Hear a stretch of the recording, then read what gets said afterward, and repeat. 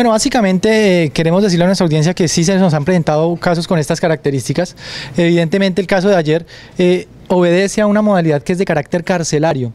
Entonces que les queremos hacer el llamado de, atención a los, taxistas, a los transportadores de cualquier tipo de gremio, transportadores como tal que ofrezcan estos servicios.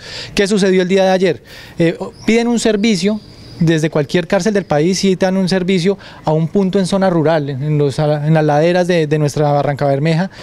Cuando llegan a este punto, vuelven y contactan a esta persona y le dicen, lo tenemos amenazado, lo tenemos ubicado, llame a su jefe, denos el número, que usted se encuentra retenido, nosotros somos del X grupo. Siempre se hacen pasar por grupos al margen de la ley para infundir temor al dueño del taxi o a los familiares. Pero básicamente estas llamadas se ejercen desde las diferentes cárceles. Entonces básicamente aquí el llamado es, eh, cuando vayan a hacer un servicio fuera de la ciudad, por favor, que conozcan a la persona, eh, que tengan individualizado quién les está contactando el servicio.